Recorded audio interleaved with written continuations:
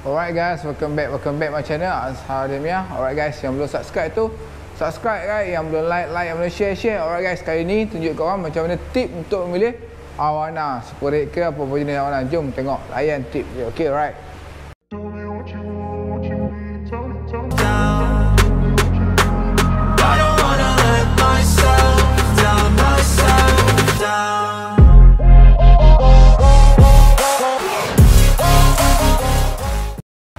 Teneng. Okey, ni dah tip dia guys.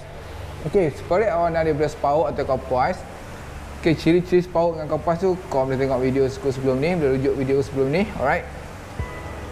Okey, tip memilih awana. So, kita ada tip memilih awana lah. Alright, tip dia First, kalau spaut macam ni lah kepala dia. Alright. Kepala dia macam ni. Dan ekor dia macam ni. Alright. So, Okey macam ni. Batu kau memilih awana ni. First kau tengok dia punya bentuk body dia. Okey. Kena pasti ni spaut ke kau puas. Okey kalau spaut, spaut kalau kau puas, kau puas. Satu. Satu lagi. Gedil orang panggil gedil. So cari bentuk badan yang cantik. Alright, first badan cantik. And then kau tengok dia punya kepala ni sampai ke ekor ni tak ada apa-apa efek, tak ada apa-apa masalah. Alright. Then tengok dia punya tu ekor dia tak ada masalah. Tak ada patah, tak ada apa-apa semua okey, right? So kalau kau pergi galeri mana-mana kau tu orang pilih kan. Kau pilih dah betul-betul, tengok yang semua okey, mata dia. Ha, tengok mata dia cantik, hitam, tak ada warna putih dalam tu. Okey? Right, sebelah lagi. Tengok sebelah lagi. Ha, belik betul-betul. Ha, tengok betul-betul. Okey? Alright, so lepas kau tengok tu Mata, tadi tengok badan kan Tengok sampai ekor, semua tak ada masalah. Okay, semua cantik. And then, kau tengok pula Ini yang paling penting ni Yang paling penting. Dayung dia ataupun Tangan dia, kita panggil tu. Ha, Yang dekat depan tu, ha, ni ni. Ha, Depan ni. Kita pergi dayung atau tangan dia Lebih pada setengah. Alright, bila dia kecil, kucuk macam ni Kau tengok lebih pada setengah. Okay? Bila lebih pada setengah tu ciri-ciri sporek yang bagus lah yang berkualiti tinggi. Nampak? Ha, nampak? Lebih pada tengah. Okey. Tengok kiri dan kanan. Jangan ada cacat tau. Alright, kiri dan kanan jangan cacat. Okey. Dan tengok eh, lepas tu pula tengok sisik satu-satu. Tak ada chip scale, tak ada apa-apa masalah. Tengok sisik dia cantik, susun cantik tak ada masalah. Okey, tengok sisik dia, semua okey. Susun cantik, tak ada isu, tak ada hal. Sisik dia memang semua cantik. Okey. Dan kau pastikan tak ada pula ladang kuda dekat tengah-tengah-tengah ni. Dekat tengah-tengah tak ada ladang kuda. So kalau sporek tak ada ladang kuda. Kalau banjarik dia ada ladang kuda. So itu penting lah. Kau tengok betul-betul. Alright. Then sampai ke belakang tengok ekor dia. Ciri-ciri dia ekor dia kalau kau minat ni terpulang pada kau orang lah. Setengah suka ekor yang kerang. Ada setengah suka ekor api. Okey, kalau kau nak masuk event atau competition, kau pastikan ekor mesti ekor kerang. Ha, macam ni, ekor mesti kerang. Kerang dan keras jangan lembik. Kalau tak kerang, kalau dia ekor api, dia macam lembik. Dia kena mesti keras macam ni. Ha. Kebanyakan sepauk dia memang ekor kerang, dia jarang ada ekor api. Sebab dia memang nak ekor dia mesti keras. Keras dan cantik. Ha, nampak? Ha. Okey. Video seterusnya nanti kita akan pergi ke video cara nak develop dia pula. Okey, ni cara dia. Ni lampu display main color plus kita pakai kat sini. Dan ni air ni dah tak tukar. Hari ni hari Senin. Okey, live kita tukar ni hari Sabtu. Sabtu Ahad Senin. Selasa, hari ni Selasa. Okey, hari ni Selasa. Nampak 18 bulan.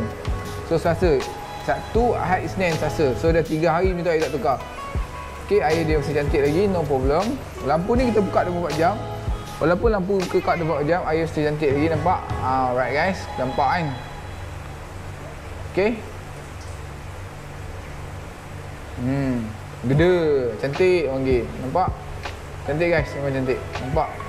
Oh, gayung dia, okey. First lah, okey. Pilih macam tu.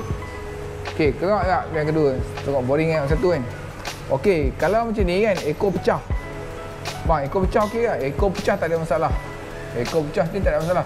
Dia jangan patah aja. Ha, dia jangan patah aja. Dia pecah macam ni tak ada masalah. Dia pecah macam ni. Dia bila sambung esok dia lagi cantik. Lagi cun. Okey. Dia pecah tak ada masalah. Pecah tak ada isu. Tak ada hal. Esok dia sambung esok lagi cantik, lagi kembang. Okey. Jangan dia masalah merepuk je. Masalah merepuk kita orang tak ubat lah. Kalau pecah tak ada masalah. Dia pecah-pecah-pecah dia akan kembang lagi cantik. Okey. Lepas tu tak ada masalah. Dayung pecah pun tak ada masalah. Dia akan lagi cantik, lagi cun lah. Okey guys. Okey. Dayung ni pentingnya panjang. Sebab apa tau? Kita nak nampak dia lagi cun, lagi cantik. Jom kita tengok video ikan awana ataupun tengok ikan awana yang kat depan ni. Laju sikit jalan eh. Hai, hai. Ni memang tempat kita singgah nampak. Ui, manja dia. Eh. So dayung ni panjang penting. Ha, bila dia besar tengok ah. Ha. Biar dia duduk kangkang macam ni. Ha, nampak? Ha. Ha.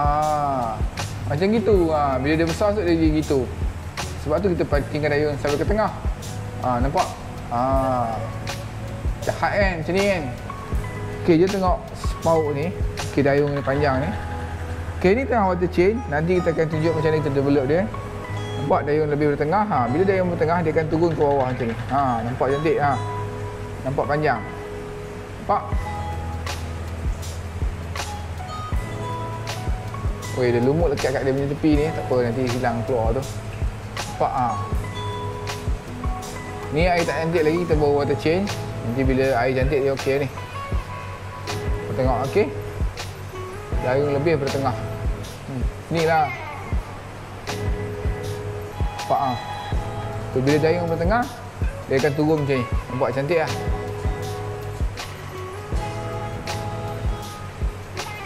Nampak ah. Okey. So aku harap aku bagi tip yang berguna kepada korang. Okey, aku harap aku bagi tip yang berguna kepada korang dan kau boleh amalkan. Korang kalau tip ni berguna dan untuk korang semua dan untuk kawan-kawan semua kau boleh share-share semua, okey?